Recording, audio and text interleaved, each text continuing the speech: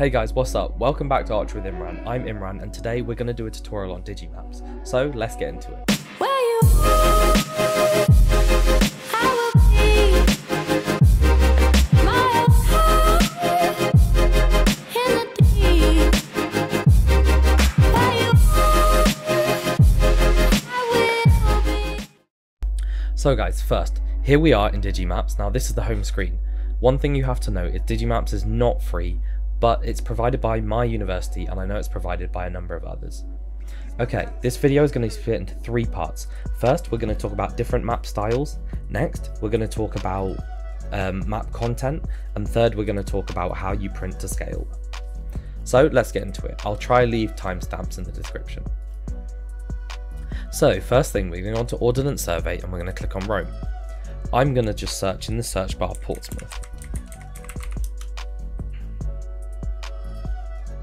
And here we have the map of Portsmouth.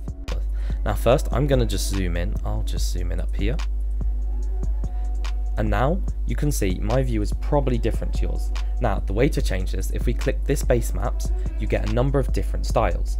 Now as you guys know, my favourite is OpenMap Local because it's great for editing in Photoshop, but you can choose a number of others, as you can see.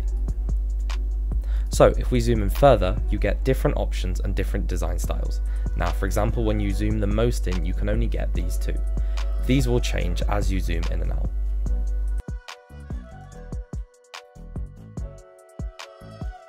So here we are in the most recent area where I had one of my projects.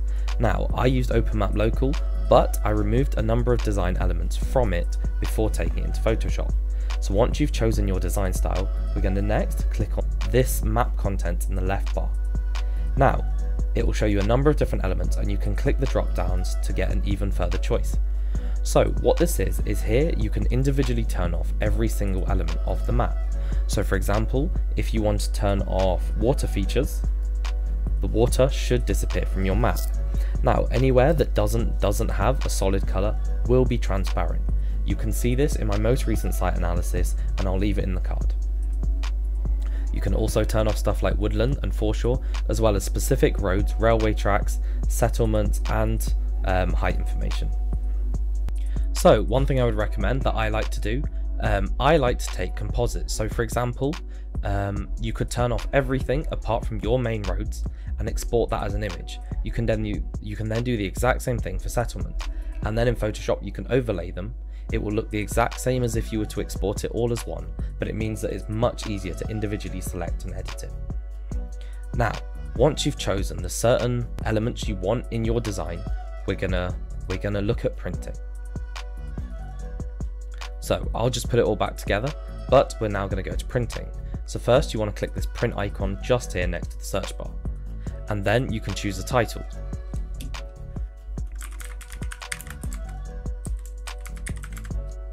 Okay, now next thing we're going to do is print scale. As you guys saw, when we are choosing our design style, did certain designs only span through certain scales.